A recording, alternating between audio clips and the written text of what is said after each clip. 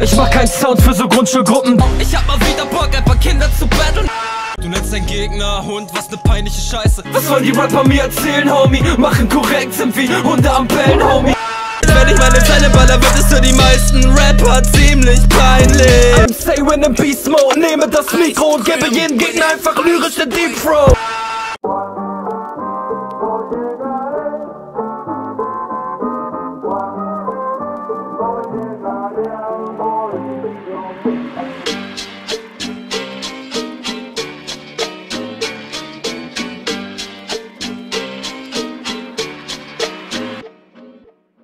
Hey, wen kann keiner leiden?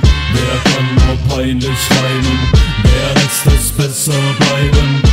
Es ist Siren, Siren, Siren, Siren Ey, lass es bleiben, bleiben Denn dich kann keiner leiden Denn du bist einfach nur nein Heute wieder betteln einer peinlichen Existenz, den man trotz der jahrelangen Teilnahme echt nicht kennt. Ob man diese Pfeife dabei Siren oder Siren nennt, kommt direkt nach der Frage Einzeller oder Echsenmensch. Du sagst in deinem Track, dass wenn du willst, du tausend Singles kickst mit Blick auf den Kanal, heißt das im Umkehrschluss, du willst wohl nicht. Im nächsten Track willst du verraten, warum du kein Hans bist.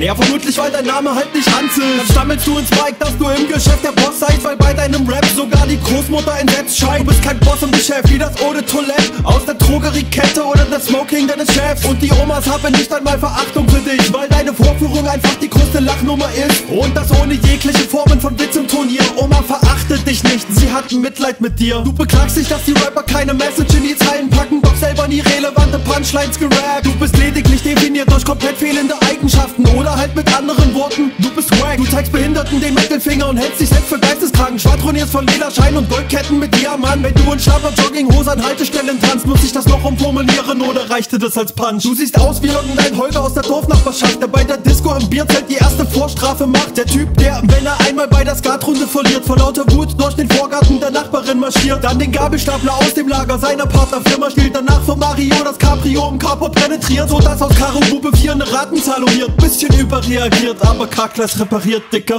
Hey, wen kann keiner leiden? Wer kann nur peinlich reimen? Wer lässt es besser bleiben? Es ist Siren, Siren, Siren, Siren Ey, lass es bleiben, bleiben Denn dich kann keiner leiden Denn du bist einfach nur nein Du sagst, dass du Mamis bängst wie Sprengstoff von Grabräubern, aber hinter der Fassade hängt nur ein Tagträumer, der trotz Aggression und Trieben wieder keine Power hat, wegen seiner Traumata. Sigmund Freud bedauert das. Wenn du vom Schlachten mit Waffen wie ein Gangster rappst, auf Lelele die Antwort Baba Bam, die Neugeborene. Der Verstand permanent in der Adoleszenz feststeckt, heißt das im Endeffekt, es gibt auch heute wieder keinen Respekt für dich. Doch hast du dich für deine Verhältnisse zumindest bemüht, deswegen zeig ich für dich auch gerade hier etwas Courage. Immerhin was aufgeschrieben und fürs Video geübt, doch nun spiel weiter Epilepsie in deiner Garage. Ich frag, ob es diese Runde mal gegen mich eine Punchline gibt. Oder ja auch der dritte Gegner ebenso den Schweizer IT. Du willst jeden zweiten der Szene Mittelfinger zeigen. Zu schreiben.